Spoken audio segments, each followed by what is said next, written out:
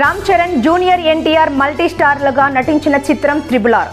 దర్శకధీరుడు రాజమౌళి తెరకెక్కించిన ఈ సినిమా బాక్సాఫీస్ను ఎంతలా షేక్ చేసిందో ప్రత్యేకంగా చెప్పాల్సిన పని లేదు. విడుదలైన అన్ని భాషల్లో కాసుల వర్షగా కురిపించి పన్నెండు వందల కోట్లకు పైగా వసూళ్ళను రాబట్టింది. తాజాగా ఈ సినిమాను డబ్ చేసి జపాన్లో విడుదల చేశారు.